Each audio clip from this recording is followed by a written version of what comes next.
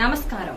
ఈ న్యూస్కి స్వాగతం. జిల్లా కాకినాడలో నలభై ఒకటవ డివిజన్లో స్వచ్ఛ సర్వేక్షణలో భాగంగా తడి చెత్త పొడి చెత్త ప్రజలకు అవగాహన కలిగించే విధంగా తడి చెత్త పొడి చెత్త dust bin municipal commissioner Swapnil Dinkar చేతుల మీదుగా వార్డు ప్రజలకు అందజేశారు. అనంతరం వార్డులో అవగాహన కలిగించే విధంగా ప్రచార రథం కూడా ప్రారంభించారు.